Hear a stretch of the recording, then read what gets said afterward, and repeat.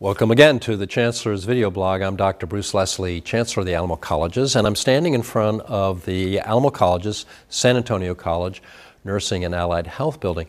This complex was constructed as a result of a bond election that was held about, about 12 years ago, and it has been a wonderful facility for our nursing and allied health programs.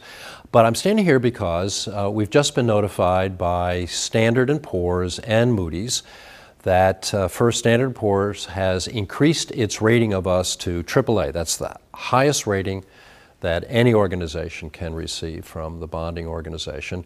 And Moody's has reaffirmed their already AAA rating. So we are the only institution that I'm aware of, particularly in higher education, that has two AAA ratings from both of these primary uh, rating agencies. And of course, what this means to the taxpayers reduces the cost of money that we borrow in bonds that we use, of course, for refurbishing and maintaining our campuses and our facilities and in the construction of new facilities, et cetera. So this is a real milestone for us. And both Standard & Poor's and Moody's commented that because of our outstanding, strong, and um, well-organized uh, financial uh, structure that uh, we deserve this very high rating. So we're, we have a well-embedded and sustainable program. We've got a wonderful uh, team led by Diane Snyder and uh, Pamela Ansboury and Tracy Bidwell and their uh, team members uh, that have resulted in a whole series of formal steps that they have taken over the years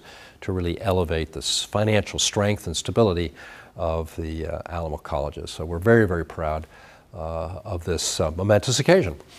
I'd also like to share with you that at the San Antonio commencement last week, trustee and now former chair, Ana Bustamante received a reverse transfer degree from San Antonio College. She had attended SAC some years ago, had achieved uh, basically enough credits uh, for her to earn the associate degree, but then transferred to uh, A&M Kingsville and uh, received her baccalaureate there and also went on for a master's degree. But we have a program called reverse transfer, which is becoming uh, an increasingly important part of uh, degree awards that we make to students uh, who have since transferred to a, a university.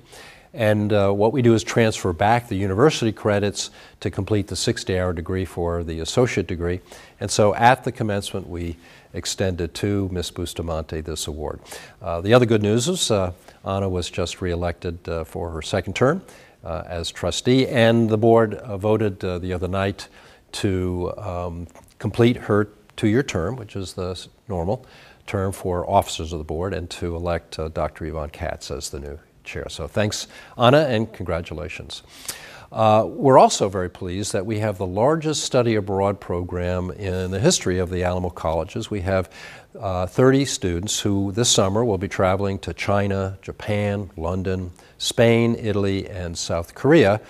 And the majority of these students, about three quarters of them, are receiving scholarships either from the Benjamin Gilman Scholarship Program or from the uh, foundation, the Alamo Colleges Foundation Program, that allows them to be able to offset their costs. They are taking formal courses, so not only are they learning about the language and the culture of the countries and cities they'll be visiting, but they're also building teamwork and they're carrying out their academic pursuits as well. So it's a phenomenal program and we're very proud to have such a large group of students and faculty that are uh, traveling. So I said 30, I meant 54 students actually, and 13 faculty members will be traveling to these countries uh, this summer. Thanks again for joining uh, the Chancellor's Video Blog. Look forward to talking to you next week.